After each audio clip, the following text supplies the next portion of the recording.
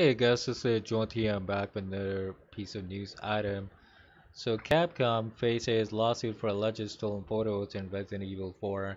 The lawsuit was filed on Friday and features over 80 examples of Capcom's alleged copyright infringements.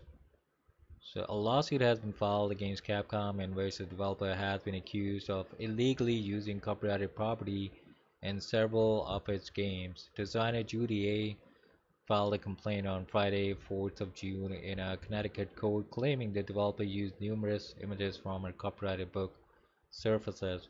The book contains over 1200 photographs of different surfaces created by a collection of images as a reference point for other artists, designers, and creatives. So, um, Juracek published the book in 1996 alongside a CD-ROM of all the images included in the book. In the lawsuit, Juracek claims Capcom used over 40 or 80 images from surfaces without her approval. So these are the kind of things that uh, are the example that uh, she says that Capcom actually used. I think she has a point there. I mean, uh, nobody would uh, go to that length and uh, just uh, go for a lawsuit. So it's like these images might have been used. I don't know what's gonna happen now, but Capcom does have to fight this, I guess. So the lawsuit features over 100 pages of supporting documents which shows how Capcom allegedly stole images on 200 different occasions across several titles.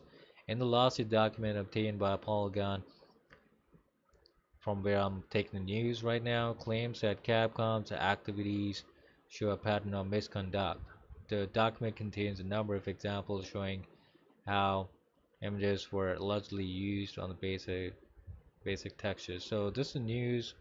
Let's see what happens now because uh, Capcom does have to go through this lawsuit and try to explain themselves or maybe they will have to do a heavy settlement with the publisher or designer.